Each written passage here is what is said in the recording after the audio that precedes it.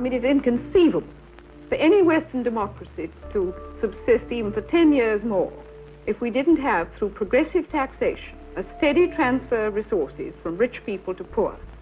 Well, I consider that we can begin to talk about the world environment and about safeguarding our planet when we, the rich nations, are giving in perfectly formal, institutionalized tax assistance.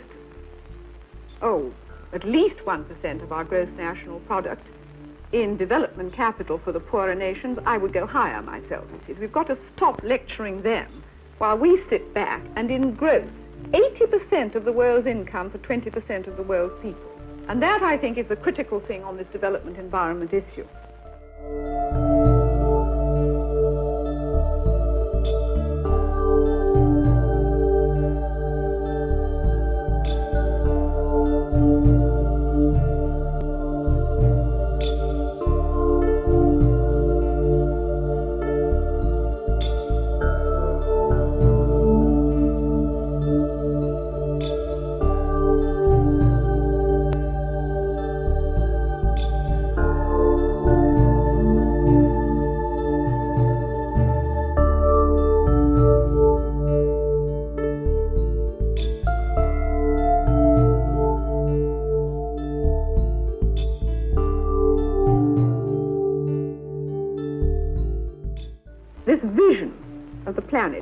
You see from the moon.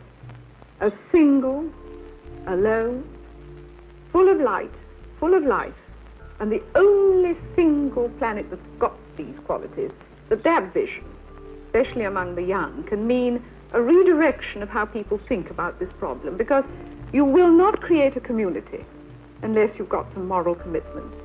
And moral commitment needs some very stern underpinnings, because we ain't moral easy.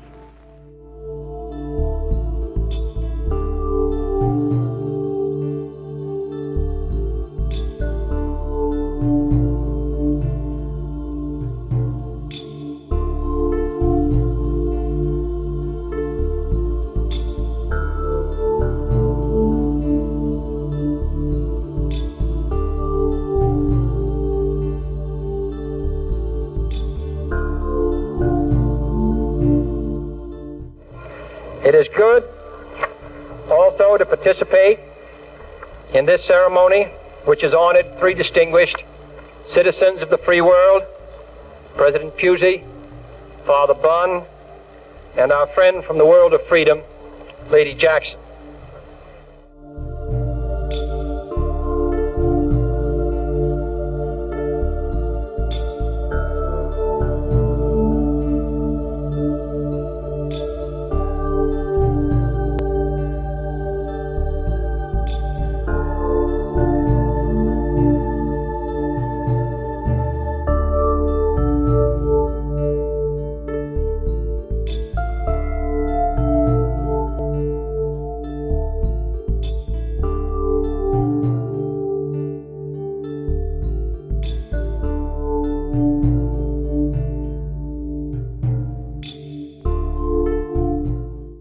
Worries me is that so great is the shortage of capital, so obstructed are the means of development, that they won't even be able to learn from our mistakes.